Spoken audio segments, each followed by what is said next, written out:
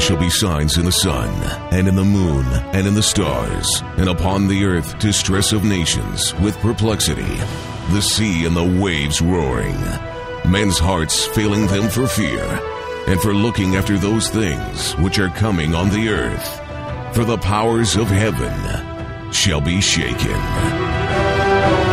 One man, one microphone, one mission, one message.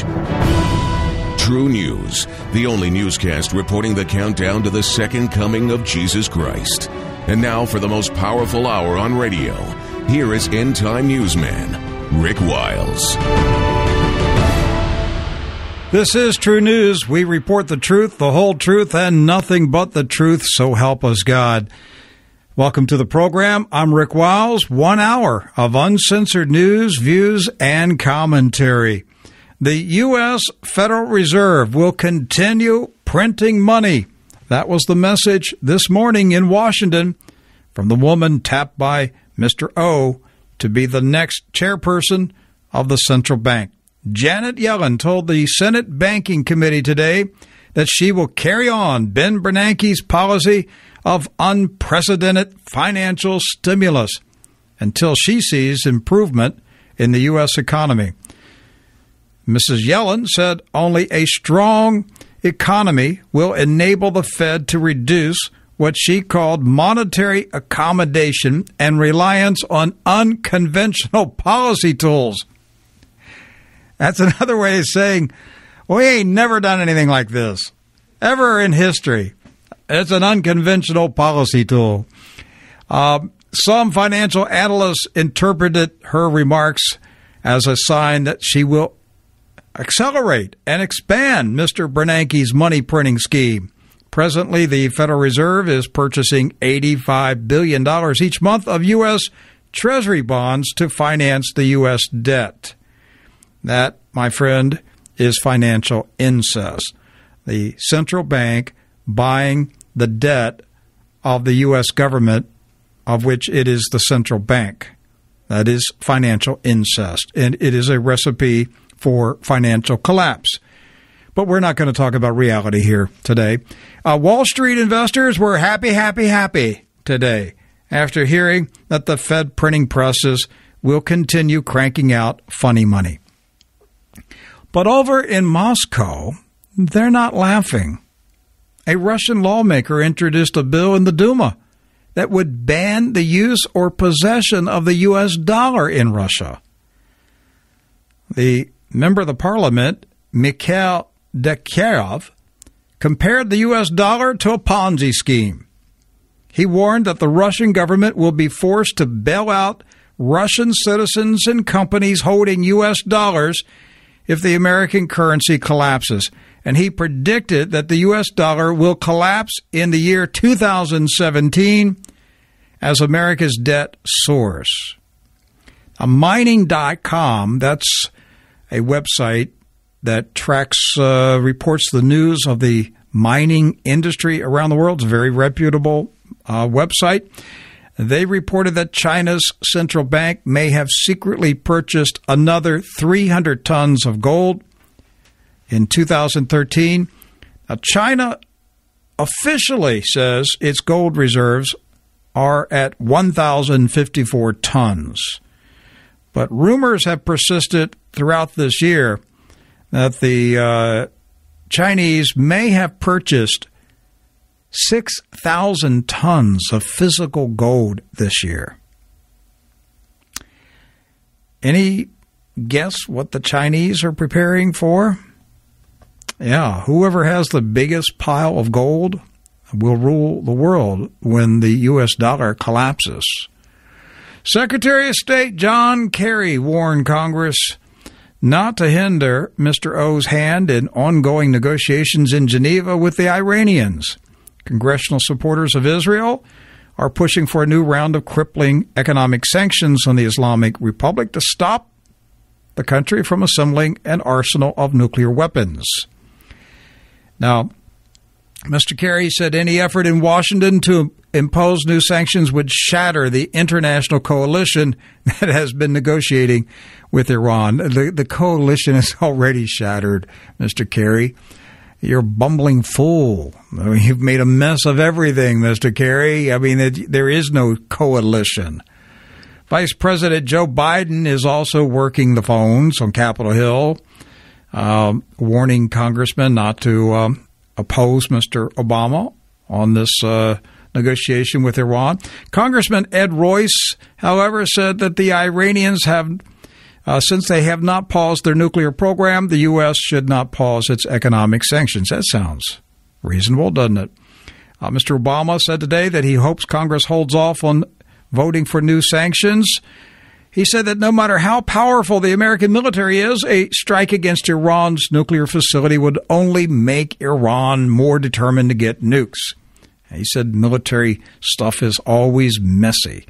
And he said, besides, six months from now, if the Iranians uh, are not serious, then he said, I'll just crank up those sanctions again.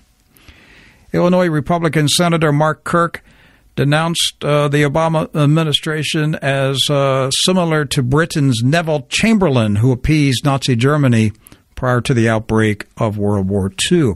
Germany's uh, Deutsche Telekom is working on plans to establish a, an entirely German owned internet system in order to bypass the American NSA. The system would be called Internets and the idea may spread across all of the European continent. Hey, let's take a uh, break, and uh, I'll be back in a minute. Raymond Ibrahim will join me when I return to talk about the Egyptian charges filed at the International Criminal Court against Barack Obama and his half brother Malik regarding their support of the Muslim Brotherhood's violent takeover of Egypt. You're listening to True News. Reporting the countdown to the second coming of Jesus Christ, you're listening to True News, the end time newscast.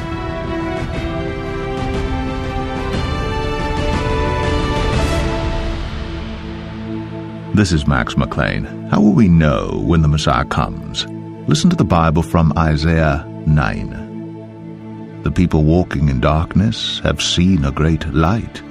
On those living in the land of the shadow of death, a light has dawned. For to us a child is born, to us a son is given, and the government will be on his shoulders, and he will be called Wonderful Counselor, Mighty God, Everlasting Father, Prince of Peace. Of the increase of his government and peace there will be no end he will reign on David's throne and over his kingdom, establishing and upholding it with justice and righteousness from that time on and forever. From Isaiah 9. Listen to the Bible. It's great for the soul. To hear more, go to radiobible.org. You're listening to True News, your alternative source for global news, analysis, and commentary. I'm Rick Wiles. As I mentioned several days ago, a team of Egyptian lawyers filed charges in the International Criminal Court against Barack Obama and his half brother Malik Obama. Both men have been charged with crimes against humanity in connection to their involvement and support of the Muslim Brotherhood's revolution in Egypt and its resulting reign of bloodshed and terror. The man who broke the story in the West is on the telephone. Raymond Ibrahim is the author of Crucified Again, exposing Islam's new war on Christians. His website is raymondibrahim.com. Raymond, welcome to True News. Hello, Rick. Good to be with you. Yes, sir. Um, Raymond, I, uh, you know, I, I before I read um, your website a few days ago and and uh, learned about these criminal charges, I, a person said to me um, last week, uh, asked me, did, Rick, did you do you know about do you know about the criminal charges against Barack Obama? And I said, no. I said, what are you talking about? And this person has uh, a relative in Europe and this uh, this individual said, um, "I was told that it's it's on European television that criminal charges have been filed against Barack Obama." And so it was one of those things where I heard the information and I thought, wait, I got to look into this. And then it was several days later, I, I came across your website and I, I knew, okay, this is what they're talking about. Um, when were these criminal charges filed in the International Criminal Court? Well, actually, according to the Arabic newspaper that I read, and I got this information from, it's a very reputable, well-known newspaper in Egypt. It's called um, El Watan News, and it's you know on Alexa, it's ranked like number ten or something in Egypt. Mm-hmm, so mm-hmm. millions, millions of copies are sold.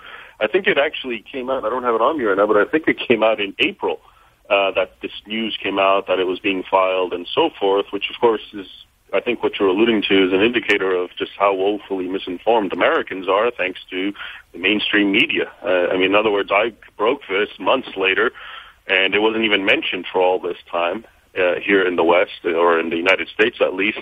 And it's just uh, kind of uh, a sad reminder how people are kept in the dark. I think intentionally, and I say this. Uh, based on the fact that I do habitually, of course, get my information from Arabic media and the sort of news that is regularly emanating from the Arab world that is very much uh, would put this administration in a negative light and other matters is it's just regularly uh, ignored, suppressed, uh, just never brought to light. And so the net result is so many Americans are completely misinformed about the reality. Uh, Raymond, I think the last time you were on the program, we were talking about the, the son of a prominent Egyptian who was in prison, and the son said his father had evidence that would put Barack Obama in prison in the United States. Uh, right, I believe that's um, I believe that's Al Shater, uh, one of the, the deputy leader of the Muslim Brotherhood organization, who is held in prison with Morsi and the rest of the gang. Mm-hmm. And uh, yes, he did say that the grandson or the son. And uh, in fact, I just read something else about some other relative of some Brotherhood leader who's in jail, threatening, saying that if the U.S. doesn't come, you know, doesn't in, intervene, as it already has, as we've seen with John McCain and Patterson, Lindsey Graham, and all these people who uh, very vocally told the Egyptian people, not I won't even say the Egyptian military, but the Egyptian people to release uh, the Muslim Brotherhood, who are being held for literally inciting terror and murder, uh, and we have this on videotape, and that's why they're being held and being charged. And here you have the the U.S. intervening on their behalf to get them out. And it's and uh, it, speaking of this Al Shater fellow, uh, it was funny because I read again about how John McCain actually went and visited this visited this man in prison, even though this man is technically or wasn't on the Morsi cabinet. He's just purely a Muslim Brotherhood member. So why? Is John McCain going to visit uh, a, non, a, a, a, non-governmental person in Egypt who's just a top Muslim Brotherhood leader. And once again, it connects the dots about the tight relationship between the United States government and the Muslim Brotherhood. And of course, going back to your point, this is why I believe, and a lot of people in Egypt especially believe, the U.S. is very eagerly trying to get uh, the Muslim Brotherhood out of prison and trying to get them not to be tried because they are fearful that a lot of ugly dirty laundry is going to be aired uh, above and beyond what we're talking. Well, I, I can tell you this the, the, reason John McCain visited a Muslim Brotherhood official in prison in Egypt is the same reason he visited uh, Al Qaeda terrorists in Syria. Uh, McCain is involved in in covert criminal activities. Do you have do you have any clues what this man was referring to as evidence that could put Obama in prison? No, he was intentionally cryptic. Uh, he was basically saying, you know, the U.S. better act, better intervene, and better do something about getting my, you know, my father tried. Otherwise, we're going to, you know, he'll spill the beans on you guys. So it's cryptic. One can't, you know, really say if there's anything factual or not. But as you just pointed out, you know, we know that the, you know, the U.S. government, top figures in it, are habitually in cahoots with not just Islamists, not just the Muslim Brotherhood, but Al Qaeda and terrorists, uh, including in, for example, in Syria. And John McCain's a perfect example. And now, you know, more information is coming out. Uh, I just translated a video yesterday where Ayman Zawahiri, uh, the Al Qaeda leader, who was a former Muslim Brotherhood leader. Not only does he point out and that Osama bin Laden himself is a former Muslim Brotherhood leader, but he says in the video that the Brotherhood was supporting the jihad in Afghanistan uh, uh materially um, back in the 80s. You know, this supposedly orga- Islamist organization that has disavowed violence and so forth was doing that. And so, you know, all you have to do is connect the dots. And, are, are you talking about the organization that Malik Obama uh, directs out of Sudan? Well, I'm talking about the Muslim Brotherhood, oh. just the international organization. Oh, okay, you're so, referring to the Muslim yeah. Brotherhood. Okay, right, right. Um, Raymond, going back to this, this, uh, these criminal charges filed in the International Criminal Court, um, who filed the charges and what do they allege? Well, um, I don't have the names on me. I can actually pull them up. It's just a bunch of lawyers. Um, I can actually. I'll put her up. I'm, I'm mm-hmm. right. I'm not by my computer. Are these are these re- are these reputable people in Egypt? They are Egyptian lawyers. Um, I'm looking at it right here. Um, Dr. Nabil Mithat Salim, uh, who's a, a, professor of law, and uh, he did this on behalf of the uh, um, uh, the Egyptian Bar Association of Lawyers. Okay, so he, so he's he's yeah, a, he's a law professor. People. All right, so he's right, a law professor right. in Egypt. Right, exactly. And they're alleging crimes against humanity because uh, they're saying that the Obama brothers were involved uh, in the uh, Muslim Brotherhood takeover of, of Egypt. Well, no. The, the main argument, the crux of it is as follows: the Muslim Brotherhood is guilty. What what this uh, what the complaint does is first it duplicates verbatim what the International Criminal Court holds to be crimes against humanity, and it's a long list uh, which I which I also reproduced on my article. Mm-hmm. So it's things like uh, you know mass murder, incitement to murder, um, attacking a specific group of people, torture, extortion, so forth. And then they show how there's uh, at least two well-known incidents, of course not well-known here in the West because they were rarely reported on, where the Muslim Brotherhood did some of those things to the people and Egyptians were killed. And we have videotapes of Egyptian uh, Muslim Brotherhood leadership saying, inciting terrorism, saying we'll kill anyone who, who tries to oust Morsi or anything like that. And so we have that. So then, after showing that the Muslim Brotherhood is guilty of crimes against humanity, the complaint then says by uh, that Obama uh, is an, is basically an access, accessory to the Muslim Brotherhood. One by providing them with mon- so much billions of monetary aid that the Muslim Brotherhood used to uh, incite terror because a lot of the people who work on its behalf, the Muslim Brotherhood, and burned, you know, up to 85 churches and so forth, are paid. We know that. The people even who vote for the Muslim Brotherhood back in the election with Morsi, lots of them were paid. We have this on record where, the, you know, people were just given money, to go vote for Morsi. So it's uh, so Obama is tied in through monetary aid and of course through political aid, as we were indicating how you know he and and his you know top leaders directly intervened uh, threatened Egypt and, in fact, have reduced monetary aid by hundreds of millions, all because of the Muslim Brotherhood. Are they going to be able to f- actually produce a paper trail linking Barack Obama with the Muslim Brotherhood? Well, that's the thing, and that's what you know everyone's waiting for, and and that's what everyone seems to be hinting at, including people involved in the uh, in the Egyptian interim government and so forth. And the problem, of course, is everyone was waiting for the Morsi trials and so forth, but they've been postponed. And again, uh, so we have to wait and see what what sort of evidence will come out. And of course, one must assume that the U.S. and Egyptian leadership behind the scenes are discussing the, these trials and what sort of evidence can be allowed to come out and come out in the open. Because, of course, if the sort of evidence there is, is such that we're alluding to, or worse, as, as one hears, then that'll be just a great dilemma for the United States government. So, you know, who knows what's going on behind the scenes and what sort of negotiations are taking place. Uh, Raymond, I've been following very closely the uh, unraveling of the Egyptian American uh, relationship and and the um, the arrival of the Russians in Cairo.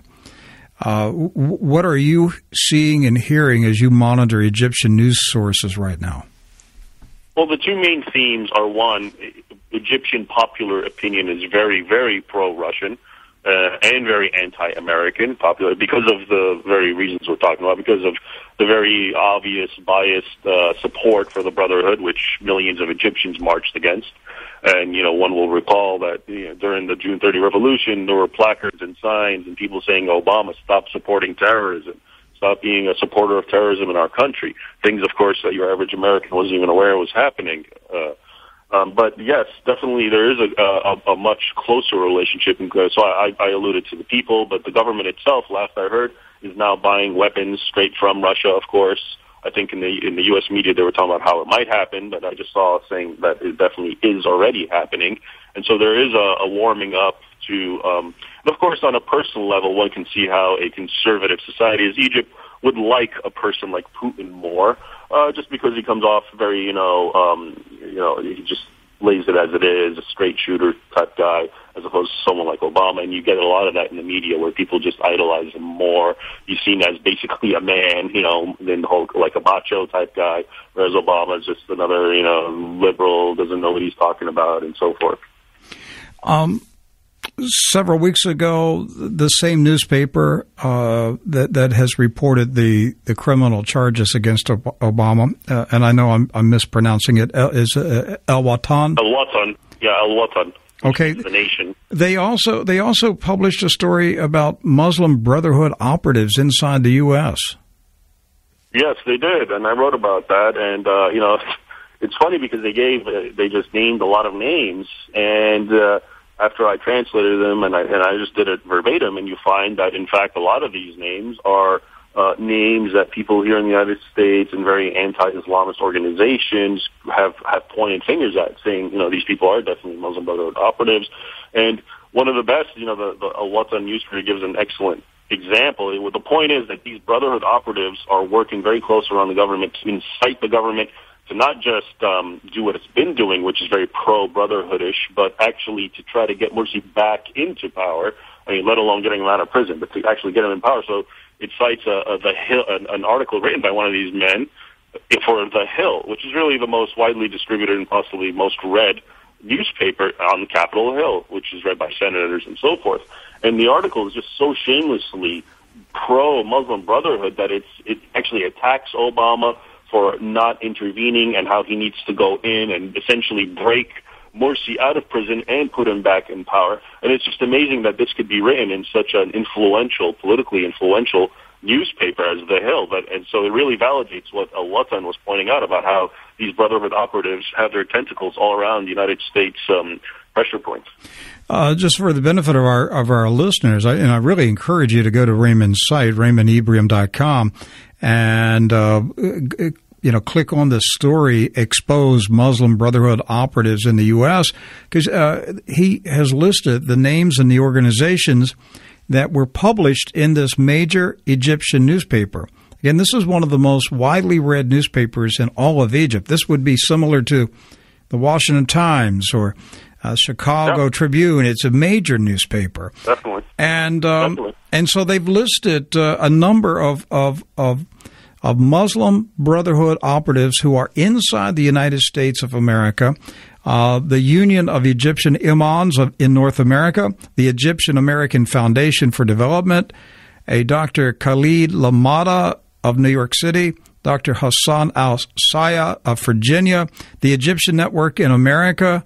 Um, who else here? Uh, Dr. Khalid Hassan of Maryland, Muhammad Abdel Hakam of Seattle, uh, Ahmad uh, Shadid of New Jersey, the Egyptian Foundation in Michigan. Uh, there's a Dr. Uh, Hamdi uh, Radwan in North Carolina, and the list goes on and on and on. You need to see if you're listening to me in, in, in any of these states uh, New York, Virginia, Maryland, Washington State, Illinois, New Jersey, Indiana, Massachusetts, Texas, uh, Nevada, Pennsylvania, North Carolina, and on and on and on. You can go there and see the Muslim Brotherhood operatives who are in your state. This is so crucial that the American people realize that Barack Obama is a Muslim Brotherhood jihadist radical. This country is being taken over. And and the vast majority of Americans are absolutely clueless about what's happening, Raymond. It's um, it's just as you say, Rick. Excuse me. Um, what's what's really amazing, though, you know, I just right now while, while you talking, I was looking up um, this newspaper Al Watan. So in Egypt, it's on Alexa. It's ranked in Egypt as 20, and the Washington Post in the U.S. is 74. So what this means is, you know, you got millions of Egyptians who are reading and who are so much better informed about the Muslim Brotherhood threat, not just in Egypt but in America, than you do Americans. And and to just top it off, think about this for a moment. Egypt is an Islamic country, and the Muslim Brotherhood was born in Egypt. And Egypt actually kicked out the Muslim Brotherhood and put them in jail. That's how bad the Muslim Brotherhood is. That fellow Muslims from the nation that the Muslim Brotherhood hails from did this to them. And yet here they are in the United States operating unfettered in the White House, in the government, and it just it gets to this point where it's so surreal when you just compare what's going on in the world. Um, we have a few minutes remaining. Tell us about this uh, this uh, uh, lawyer who is persecuting Christians. Right. Um, so it's actually a, a, a, little amusing. So Mohammed Morsi, the lawyer that apparently was appointed to him, now they're saying he's, he might not have a lawyer at all because Morsi doesn't even recognize the court uh, hearings and so forth. But the lawyer that was supposedly going to represent him, represent him is Mohammed Salim Alawa and most people don't know this. He he he seems like a okay lawyer, but in fact, this is the guy who years back came went on Al Jazeera, which of course is the most widely watched um, news program around the Islamic world, and started saying that the Copts, the Christians of Egypt, in their churches and in their monasteries, were housing tons of weapons that were being sent from Israel, so the Copts could actually take over Egypt through some kind of reconquista. Uh, and of course, by doing that, he just, you know, all, all Egypt needs is some incitement, and attacks were, uh, Copts were attacked, churches were attacked, monasteries were invaded, and so forth. And yet, here we go, uh, just recently, up to 85 churches were attacked by the Muslim Brotherhood, and one wonders, where were these weapons? How come, if the Copts had them, not one instance is there where they were able to use it to defend their monasteries and churches? So it just goes to show you that the guy that supposedly wants to protect Morsi from the charge of inciting terrorism himself is well known for inciting terrorism, especially against the Christian minority. Uh, Raymond, with with the Egyptian army back in control of, of the country right now, uh, has the level of persecution against Coptic Christians been reduced?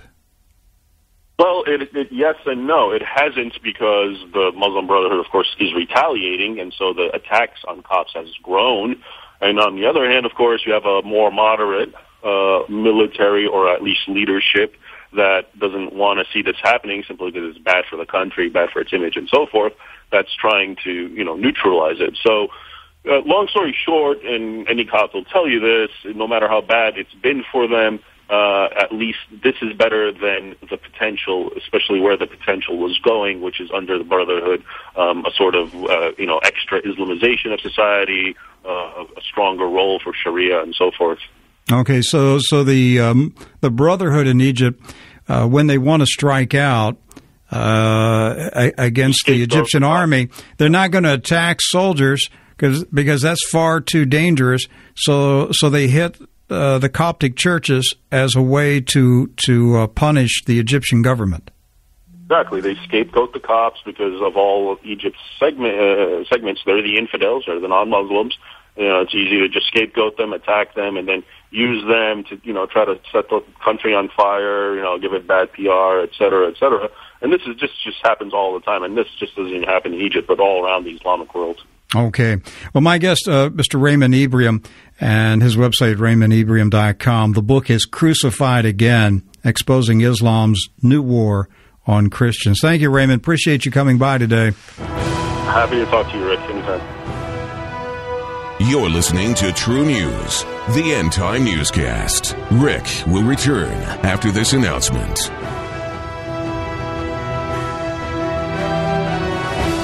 Christian parents need to hold true to their convictions. Here's today's moment with Charles Stanley. Now, most people today do not have unwavering convictions. They live by one of two methods either by preference, What do I prefer in this situation, in this circumstance, which is best for me, easiest for me, the most profitable to me, and will get me the most uh, acclaim or the most acceptance? Or by conviction, basic beliefs held so strongly that nothing you say or do will cause me to say yes or no when I should be firm in what I believe. A conviction, a strong conviction, is a personal belief that you hold based on the truth of God's Word.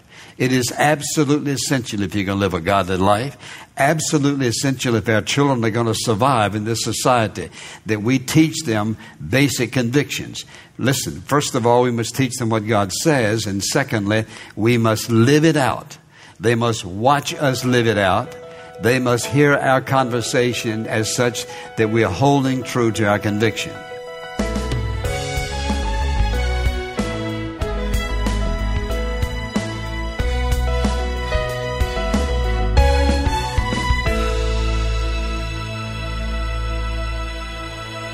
This is TruNews. We report the countdown to the second coming of Jesus Christ. I'm Rick Wiles. TruNews is a listener supported international radio newscast, and I want to invite you to visit our website, trunews.com. Now, for the past 17 months, I have personally attended a, a spirit filled Anglican church here in Vero Beach, Florida. And it's a member of the um, Anglican Church of North America. And that's the group of traditional Anglican congregations in the U.S. that's separated from the apostate Anglicans that embrace same sex marriage and uh, homosexual bishops and all that kind of stuff. And I was really impressed by the the dedication of this congregation to to stand their ground and say we're not going to compromise the gospel. We're not going to go the way of other congregations and uh, we are going to hold the line. And uh, as I told you um, a couple of weeks ago, there were uh, just recently in in Nairobi, uh, 331 bishops from 40 countries gathered, and they sent word to the Archbishop of Canterbury.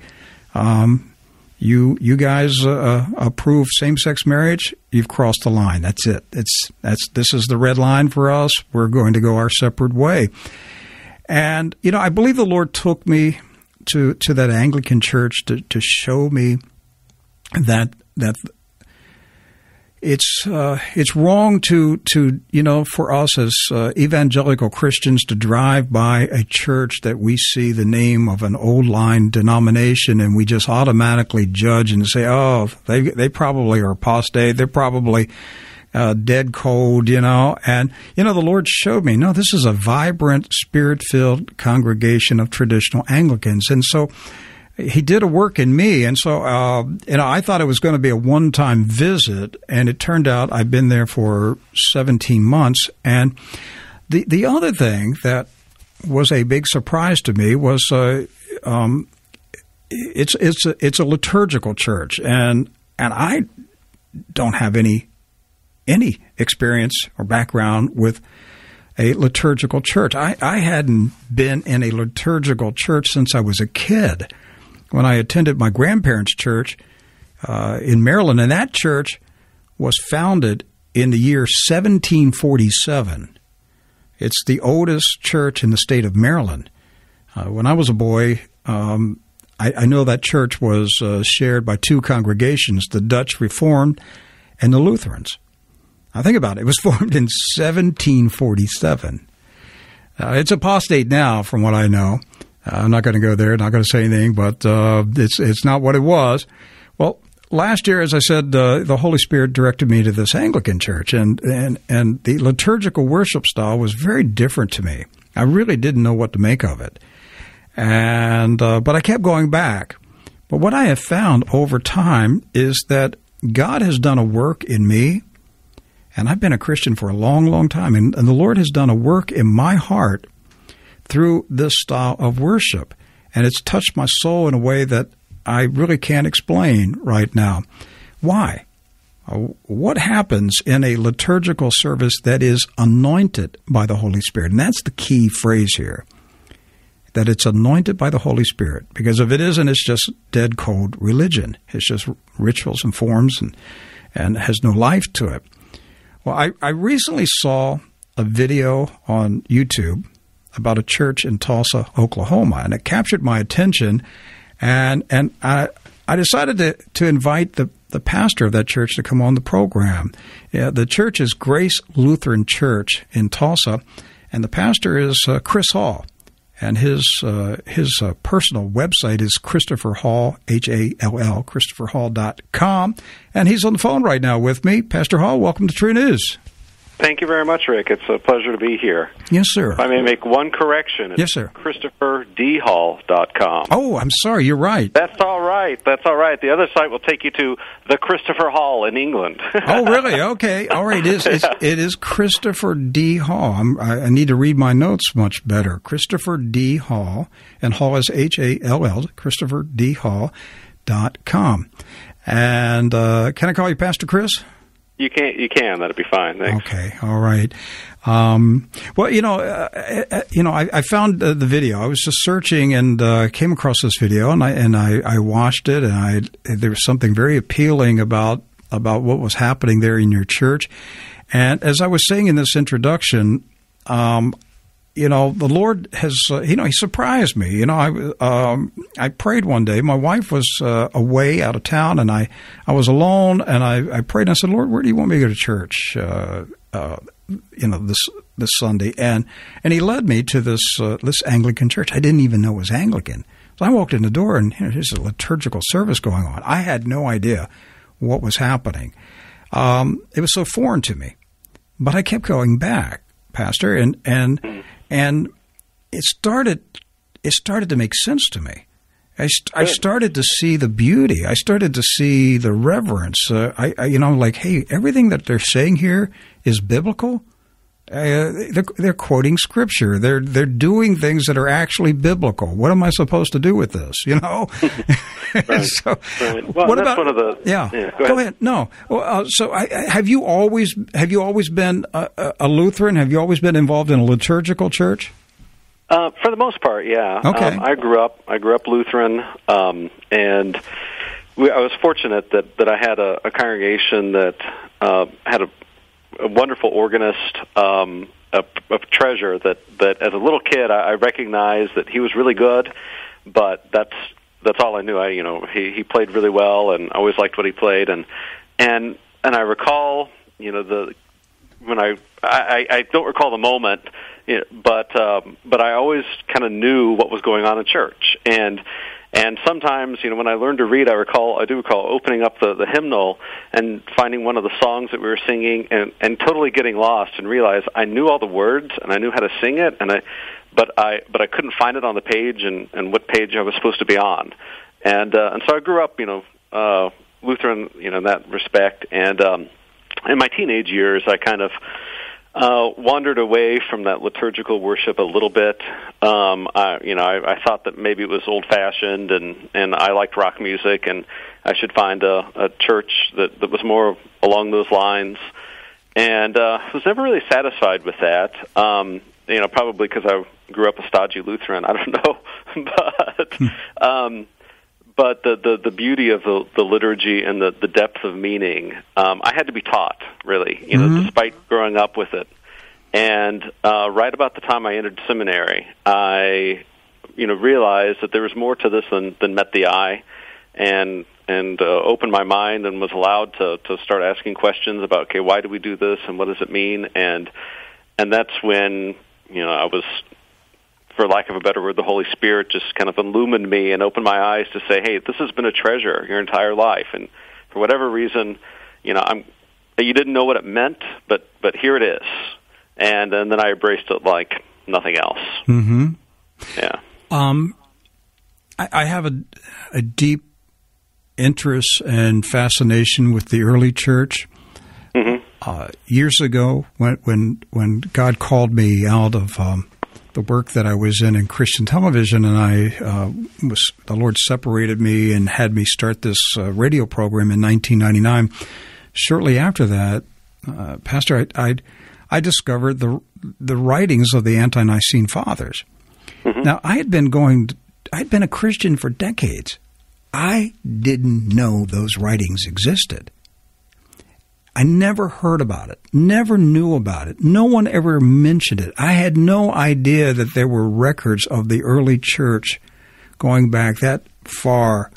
And and at first I was um, I, there was uh, almost some anger in me that I felt like I had been deprived of my Christian heritage, and and and it was you know there was uh, there was some uh, some I don't want to say resentment or or or un, you know it was just it was just kind of like a you know righteous indignation. Hey, why why haven't I been told these things? And so you have so, you have this family that you didn't know about. Exactly. You know? That's just why didn't it. I know about these grandparents? That's right. That's the way I saw it, and and and I started to fall in love with some of these grandparents of the church, mm-hmm. and. Um, you know, and I, I started to, you know, to, to read their writings and understand how deep their faith was and, and what they endured and the persecution that they went through to give us this faith, to hand it down to us, the apostles' doctrine.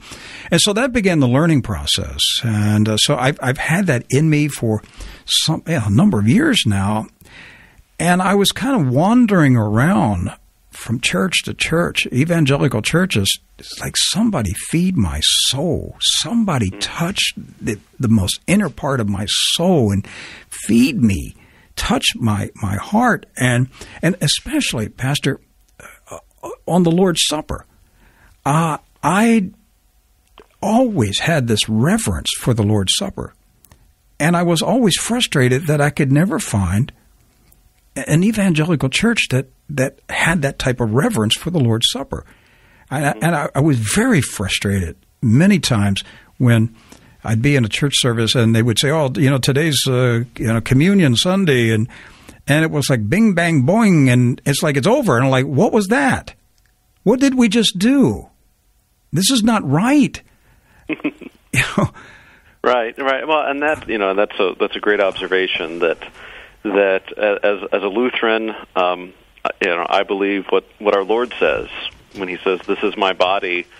that in a in a supernatural way that that we cannot understand and, and rationally can't make sense of that bread is the body of Christ. You know, Luther said it was in with and under the uh, the bread. You know, the body of Christ is, and likewise his blood is is in with and under that wine, and and it's truly present, not in a not in a not only for my faith, not only you know um, in a, in a symbolic sense, but you know when I open my hand and and uh, the you know the host is or the bread is placed you know in it, I'm holding the baby Jesus, you know the baby Jesus like Nicodemus did in in Luke chapter two, and um, and so uh, you know that that understanding is at the heart of of you know liturgical worship.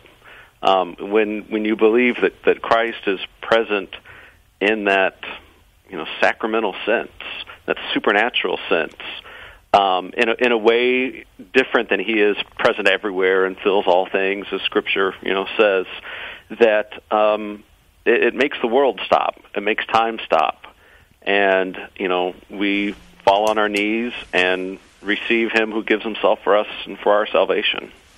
That's right. Well, I personally believe that in the real presence of Jesus Christ in the sacraments of of, of the Lord's Supper. Um, when when Luther and, and, lately I've I've been I, I've been on this learning binge about Martin Luther, and I'm I'm reading a lot of books, and I have the the, the Concordia and I've, various volumes that I'm I'm just devouring of Martin Luther right now, and and just revisiting uh, that man and, and what he stood for and his his grasp of the gospel. But when he when Martin Luther said that that Christ is in and under the blood and the uh, uh, under the wine and the bread in communion, what did he mean by that? Well, it's um, you know it, it partially in reaction to the the philosophical theories of you know the of Roman Catholicism at the time that had an under you know, insisted on this um, you know kind of Aristotelian you know move this this theory of, that they got from Aristotle that somehow you know, that that they had to explain what happened to the substance of the bread, the molecules of bread, and and where let's say, you know, to put it crudely, the molecules of Jesus would come in, and uh, and so he was reacting against that, saying, well, Scripture, you know, is our is our only norm for faith. You know, our only you know, when when it comes to these questions about theology, we only can say what Scripture says and and you know if, if it's speculation, we have to call it speculation. And so he says, Scripture, you know, pointed out that Scripture says this is my body. He doesn't give a, a, a philosophical theory on on how that happens.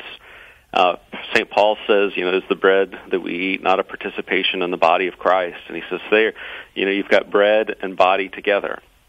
And then also he was reacting against some of the the more radical reformers um, who wanted to emphasize, oh, this is a symbol, this is only a symbolic meal, and and again he says, no, Jesus says otherwise, but we can't we can't really define it any further than that, and and the only way I guess in his language that he could come up with was that it's you know in the you know the body of Christ is in the bread, it's with the bread, it's under the bread, and we receive it. Mm-hmm. We receive the body of Christ with that bread. The, the, Orthodox Christians say it's the mystery of the faith.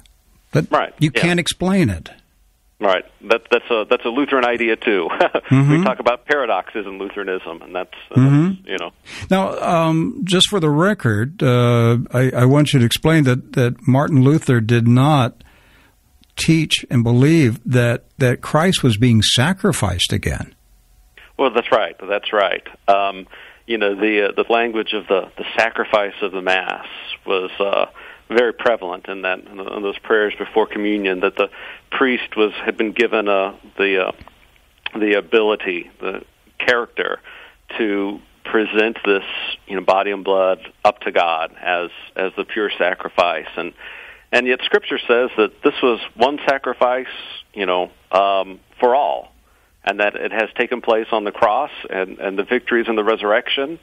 And so uh, Luther taught that this the sacrament goes the other direction, not the priest and, and presenting it to God, but really it is God coming to us and giving us the body of Christ and, and putting His blood upon us, mm-hmm. so that we may be forgiven. So it's a it's a top down, it's a from God to us direction, and, uh, and that's and that's the way our salvation works. You know, God God you know gives us faith and gives us forgiveness, and our response is is uh, faith and thankfulness and praise to Him. Mm-hmm. And His word was, "This is my body. This is my blood." And "is" means "is." It, right. Yeah, famously, is means is. Yeah, I, I, I hate quoting yeah. Bill Clinton. You know, depends what the definition of is yeah. is, but right. But I mean, is means is, and if he says, This is my body, then I, as a Christian by faith, I say, This is his body. That's. That's correct. Yes, yes. And it's you not know, it's not my job to figure out how it is. I'm just believing right. by faith. Is is that right. is that what Luther taught? That that you sound like a Lutheran, Rick. Oh no, what's happening to me here? Huh? What's happening? Yeah, no. so, but but that's yeah. That we uh, you know the Lord's ways are not our ways, and uh, we submit to His word. Mm-hmm. And uh, you know, the other pillar of the Reformation, that the word of you know God is truly the word of God who does, and His word does what it says. You know, and I guess that's the other aspect of of why our worship is is liturgical as Lutherans. You know, um, is that that the so much of the liturgy, you know, is just direct quotes from Scripture or or you know paraphrases of Scripture and and, and other places, and and we believe that we, that Word of God is not just information about God. It's not just information God wants us to know, but it truly is an encounter with Him. That he, when when that Word is spoken and proclaimed and heard and meditated upon and read, you know, that that you're meeting God that that Christ is speaking directly to you, and it's not just you know totally 100% correct words, but it, it is that, but it is more than that. And so we honor those words of God, um, you know, not worshiping the, the Bible, but worshiping the one who speaks, you know, in the Bible. Pastor, when we receive the sacrament of the Holy Communion and we eat the bread and drink the wine as the bread, as the uh, body and blood of Jesus Christ, What is happening to us as Christians during that process? That is a, that is a wonderful question. Um, what is happening to us is that we're receiving, you know, we're receiving the one who was nailed to the cross. Mm-hmm. That his sacrifice and his righteousness are become part of us. You know that, and that we are being united with him. You know by the the work of the Holy Spirit as well, and and are made his one body.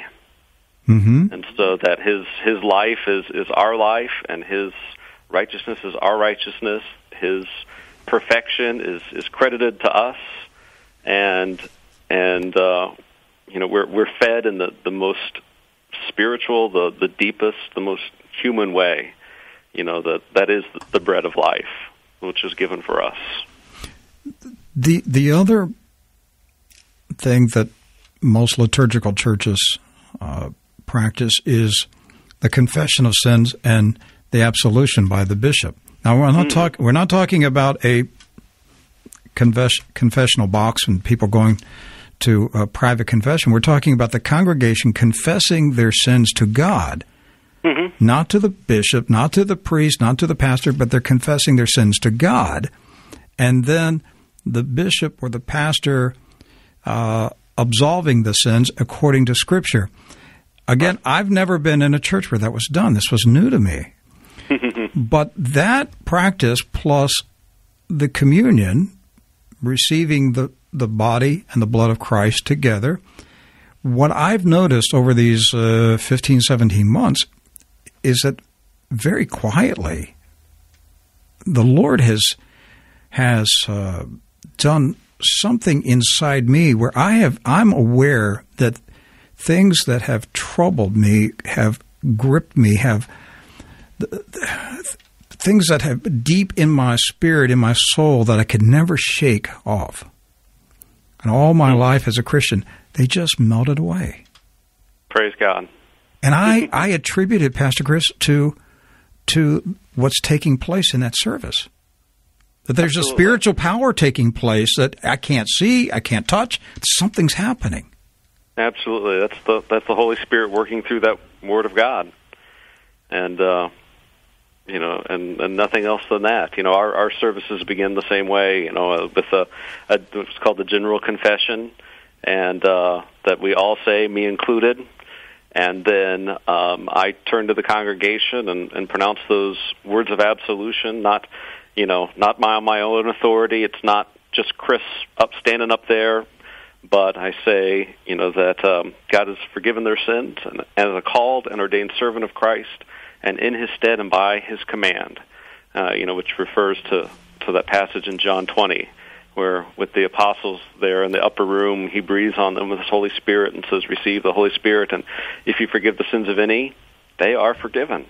and if we withhold them, they are withheld. And and this was, you know, uh, the the most blessed gift in a sense that that He's given to human beings that that we can take that that divine absolution, that divine, you know, uh, cleansing, and and find it every single week, and and not based on human authority, but but Christ doing that and using me as a tool and I and I say that to the congregation, and and I mean it for myself as well, and I know it applies to me as a person. Mm-hmm. And and it is a beautiful it is a beautiful gift that that our Lord has given us in that. Yes, it is. And these gifts have been they've been lost in in the evangelical churches in in recent times. hmm And and I think I think the Holy Spirit is is uncovering them and and leading people back to the ancient ways of the early church. I, uh, yeah, we've uh, you know I've I've seen that seen that time and time again here, um, you know, at Grace Lutheran Church and and in you know other places I've ministered is that you know people come in and and they say that they have been looking for reverence, they've been looking for you know meaning, and um, to get off that Christian rat race of, of emotionalism and, and entertainment, and they found in in the liturgy um, and in that you know the, the gospel and in Christ at work Mm-hmm. and the Holy Spirit there present. Mm-hmm. I uh, my my grandson, uh, my grandchildren who who live in Ecuador now with uh, my daughter and son-in-law. They have have an orphanage in in Ecuador, but they were here visiting us for three weeks, and I took my oldest grandson Blake to church with me last Sunday, and. Uh, you know, when we left, uh, I said, "Well, what did you think, Blake?" And and you know, it was his first time in a liturgical church, and he said, "He said, Grandpa, it was," he said, "a very, I, I, I it was he said, very, I think he used the word reverent. He said, I, I really felt there was holiness here. Wow. And he said, but I was surprised by the flat screens. you know, so you know, because they had you know, the video screens. But he said, he said, I felt there was holiness here, and I thought, you know, to uh-huh. come out of a fifteen-year-old uh, yep. Yes, he noticed something. There was something that present that he had not felt before. Right. Uh, how many how many people in your congregation in Tulsa uh, have a liturgical background, and how many of them are like this is all new to them? You know, it's tough to say. Um, I'm I'm a fairly new pastor here, and still getting to know the congregation. Um, in in my brief experience here, the the members that have come in in the last year and a half, I would say it's about split fifty fifty between those who have experience with it and and those who don't. It's it's funny that and and even even the ones that would characterize themselves as having you know little to no experience, a lot of them are old enough to remember the way things used to be, and and some of their you know churches back Mm-hmm. in the day, mm-hmm. and and the reverence that just really seems to be lacking, and and tying in with that that statement by your by your grandson, uh, you know it, it he I'm sure he recognized that holiness because you can't find it anywhere else. That's right. And there's nowhere else in this world. It's uh, that many of these churches are just so empty. It's just noise. It's just entertainment. Uh, do, do you have a processional at the beginning of your church service? We do, we do. Every Sunday we have a processional and and the the cross with the the, the body of Christ, the crucifix, you know, comes in and, and leads the procession and and everyone turns to face, you know, that and and then we have a recessional at the end where the the cross is goes to the back and we all process out at that time as well. It's it was so refreshing to me to hear the old hymns again. Yes. That I mean, you know, I, you know, I tell people who, uh, I, as a, you know, the same way with the Lutheran Church. You know, I tell them, look, you know, the, these Anglicans, their their hymn book, you know, goes back 500 years. You- You're going to hear Oh, some oh, songs yeah. there that you, we we haven't heard. Well, Right, Pastor, and even further than that, you know, we have we have one that we sing uh, fairly frequently that that's dated to I think 450 AD. You know, the, the text is the the tune's a little bit newer than that. 450 AD, Yeah, and you're sure, singing sure. it. Oh, it's awesome! It's awesome, Pastor. We're out of time. My uh, my guest today, Pastor Chris Hall, and he is the senior pastor of Grace Lutheran Church, Tulsa, Oklahoma. If if any of our listeners want to visit, where can they find the church on the website? On the it internet? is at glctulsa.org, as in Grace Lutheran Church Tulsa. glctulsa.org. All right. Thank you so much. Good talking to you, Pastor. Thank you. Good to talk to you, Rick. Well, regardless of your denominational background and theology, I hope you were blessed by my conversation with Pastor Hall about the mystery of the Holy Communion at the Lord's table. Jesus Christ is the bread of life. He said, Who comes to me will never go hungry, and he who believes in me will never be thirsty. When you approach the Lord's table with reverence, Jesus will be revealed to you in the breaking of bread. I encourage you to read Luke 24. Now, behold, two of them were traveling that same day to a village called Emmaus, which was seven miles from Jerusalem. And they talked together of all these things which had happened. This is after the res- after the crucifixion. So it was while they conversed and reasoned that Jesus himself drew near, near and went to with them, but their eyes were restrained so that they did not know him. And then later we see it says that in verse 30 now it came to pass as he sat at the table with them that he took bread, blessed and broke it, and gave it to them, and their eyes were open and they knew him. My friend, Jesus will be revealed at his table.